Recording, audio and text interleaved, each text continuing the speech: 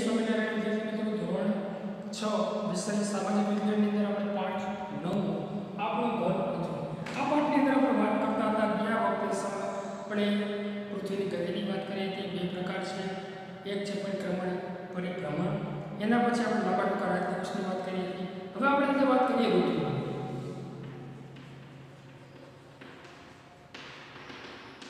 તો મિત્રો, ઋતુઓ છે.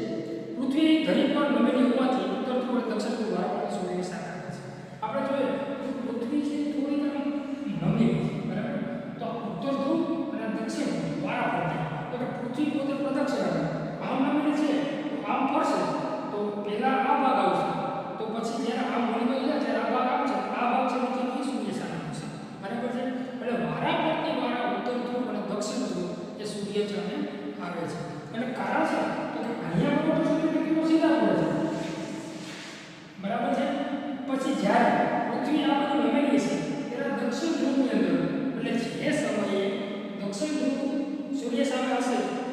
ઉત્તર ધ્રુવની અંદર શિયાળો ઋતુ હશે જ્યારે શિયાળો ઉત્તર ધ્રુવમાં સૂર્ય સામે હશે ત્યારે દક્ષિણ ધ્રુવની અંદર શિયાળો હશે એટલે કે જ્યારે સૂર્યની કિરણો અહીંયા સીધા પડશે ત્યારે અહીંયા શિયાળો હશે જ્યારે અહીંયા સીધા પડશે ત્યારે અહીંયા શિયાળો હશે બરાબર છે આગળ સૂર્યના કિરણો વિષમથી ઉત્તરે કે દક્ષિણે સીધા પડે છે ઉત્તરે અથવા દક્ષિણે સીધા પડે છે ત્યારે આમ તો દિવસ રાતમાં તફાવત પડે છે આથી વધારે સમય સૂર્યપ્રકાશ મેળવતા વિસ્તારોમાં ઉનાળો અને ઓછો સમય સૂર્યપ્રકાશ મેળવતા વિસ્તારોમાં શિયાળો હોય છે.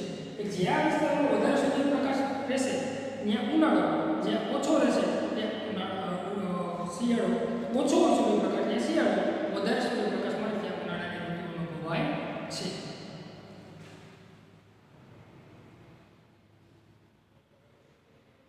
તે જ સમયે દક્ષિણ પૂર્વમાં શિયાળામાં ઋતુ અનુભવાય છે જે માનવ જીવનને સીધી અસર કરે છે. કે દક્ષિણ પૂર્વની અંદર શિયાળાની અનુભવ એ માનવ જીવનને ખૂબ જ વધારે અસર કરે છે. એના પછી ઉત્તરાયણ તો કે બાવીસમી ડિસેમ્બરથી સૂર્યના સીધા કિરણો ઉત્તર તરફ એટલે કે વિશ્વ તરફ પડવા લાગે છે બાવીસ ડિસેમ્બર અહીંથી સૂર્યના કિરણો ધીરે ધીરે ક્યાં સીધા પડવા લાગે તો વિશ્વ અહીંયા બરાબર છે ઉત્તર તરફ આગળ બાવીસ ડિસેમ્બરથી સૂર્યના કિરણો વિષુવવૃત્ત તરફ સીધા પડવા લાગે એટલે કે ત્યાં આવે ને ધીરે ધીરે ધીરે ધીરે પછી આમ જાય એટલે કે તે સમયે અહીંયા બાવીસ ડિસેમ્બરથી અહીંયા શું હોય તો કે શિયાળો ત્યારે એની શરૂઆત થઈ સીધા કિરણો પડવાની વિષુવવૃત્ત તરફ ઉત્તર તરફ આમ ઉત્તરાયણ બાવીસ ડિસેમ્બર એ થાય છે પણ આપણે જેવું જાન્યુઆરી સૂર્ય મકર રાશિમાં પ્રવેશ કરે છે એટલા માટે મકર સંક્રાંતિ કહીએ છીએ ઉત્તરાયણ ખરેખર ક્યારે થાય તો કે બાવીસ ડિસેમ્બરે થાય પણ આપણે મકર રાશિમાં સૂર્ય ચૌદ તારીખે પ્રવેશ કરે છે અને ચૌદમી જાન્યુઆરી આપણે મકર સંક્રાંતિ તરીકે ઉજવીએ છીએ એના પછી દક્ષિણ આવે તો કે બાવીસ જૂનથી સૂર્યના સીધા કિરણો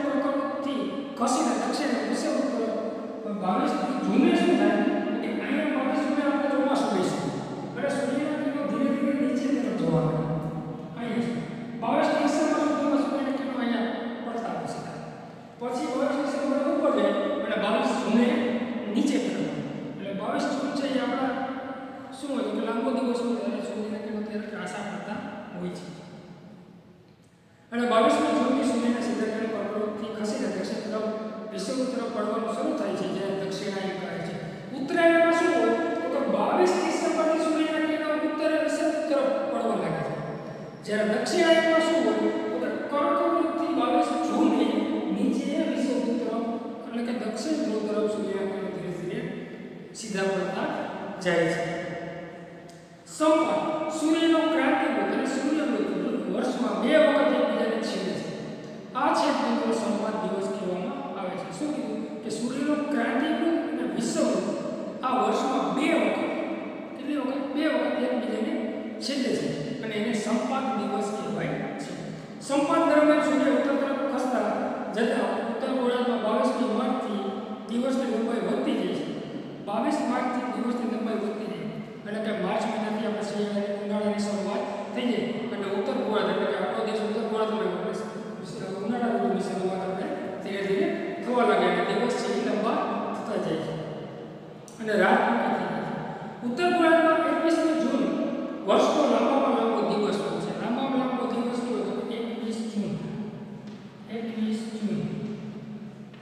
લાંબો દિવસ.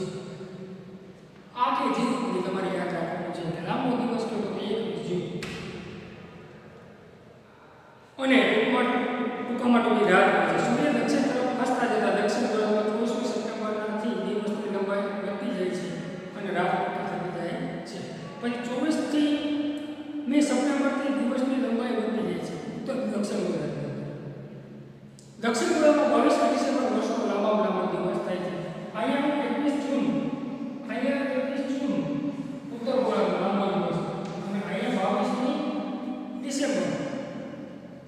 લાંબો બાવીસ બાવીસ ડિસેમ્બર લાંબામાં લાંબો દિવસ છે અને ટૂંકામાં ટૂંકી રાહ છે વર્ષ દરમિયાન એકવીસમી માર્ચ અને ત્રેવીસમી સપ્ટેમ્બર એ સુધીના કિલો વિશ્વ ઉપર સીધા પડતા હોય રાત અને દિવસ સરખા થાય છે એકવીસમી માર્ચ અને ત્રેવીસ સપ્ટેમ્બર આ બે દિવસ એવા છે કે દિવસ અને રાત બે સરખા હોય છે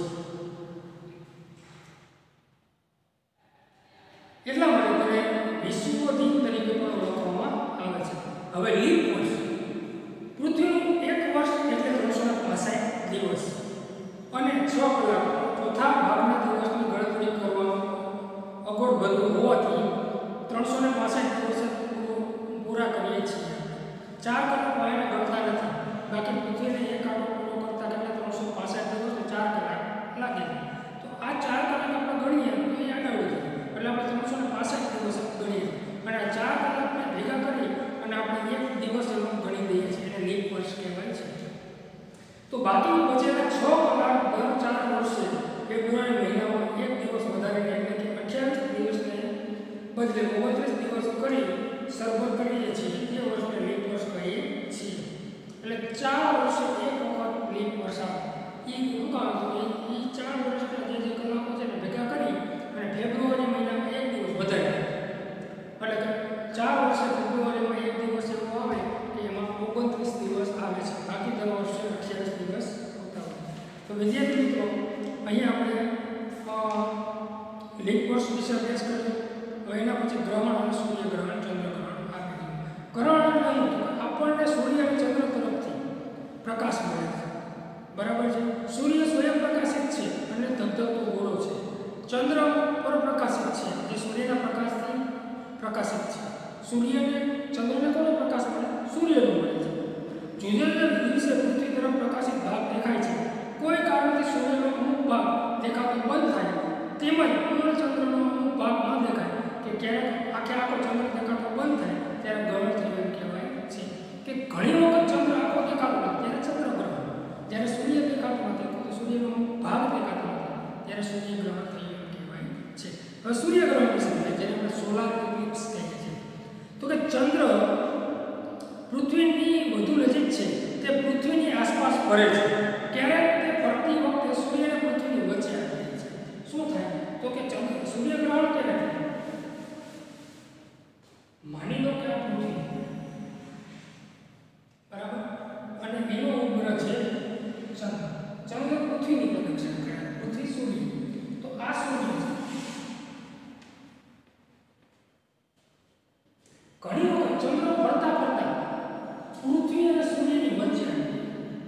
એટલે કે સૂર્યની વચ્ચે આવે ચંદ્ર એટલે પૃથ્વીના ઈ સૂર્ય છે એ પૃથ્વીને પૂરેપૂરો પ્રકાશ દેખાતો નથી વચમાં ચંદ્ર આડું આવી જાય ત્યારે આપણે ચંદ્રગ્રહણ થયું કહેવાય છે જેમ કે આ આપણે બરાબર? કે આ ભાગ પૃથ્વી છે સૂર્ય ચંદ્ર છે દેખાતો નથી. એટલા માટે પૃથ્વી અને ચંદ્ર સૂર્યની વચ્ચે જ્યારે ચંદ્ર આવે છે, ત્યારે સૂર્યગ્રહણ થયું એમ કહેવાય છે. આ વખતે ચંદ્રના અંતરાળથી સૂર્ય દેખાતો બંધ થઈ જાય છે. આ ઘટનાને આપણે સૂર્યગ્રહણ કહીએ છીએ. ચંદ્ર સૂર્ય કરતાં નાનો હોવાથી તે સૂર્યને સંપૂર્ણ ઢાંકી શકતો નથી. એટલે આખે આખો સૂર્ય ઢકાતો નથી કારણ કે ચંદ્ર છે સૂર્ય કરતાં નાનો છે સૂર્યગ્રહણ થાય છે, પરંતુ દર અમાસે આ ઘટના બનતી નથી. સૂર્યગ્રહણ ક્યારે થાય? કે સૂર્યગ્રહણ અમાસ બરાબર? થાય છે. હવે ચંદ્રગ્રહણ કહેવાય તો કે ચંદ્રને સૂર્ય તરફથી પ્રકાશ પડે છે. તેથી ચંદ્ર તરફ જતા સૂર્યના પ્રકાશ સૂર્યના કિરણોના વચ્ચે પૃથ્વીનો અવરોધ આવે એટલે ચંદ્રને એટલા ભાગમાં અંધકાર રહે ટૂંકમાં પૃથ્વીના એટલા ભાગનો પડછાયો ચંદ્ર પર પડે છે. આ ભાગ આપણે દેખાય નહીં જેને ચંદ્રગ્રહણ કહેવાય છે. તેમાં શું થાય? તો કે પૃથ્વી છે એ ચંદ્રની વચ્ચે. ચંદ્રને પોતાનો પ્રકાશ નથી. સૂર્યનો પ્રકાશ ચંદ્રને મળતો બંધ થઈ જાય છે. એટલે પૃથ્વીનો પડછાયો પડે એટલે ચંદ્ર છે એ દેખાતો નથી. અને ચંદ્રગ્રહણના દિવસે ચંદ્ર અને સૂર્યની વચ્ચે પૃથ્વી વચ્ચે ચંદ્ર આવે છે. આવી ઘટના પૂનમની રાતે થાય છે, પરંતુ દર પૂનમે થતી નથી, એક પૂનમે થાય છે. અહીં આપણો પાઠ પૂરો થઈ ગયો. હવે આપણે અક્ષર નાગરિક ક્ષેત્રમાં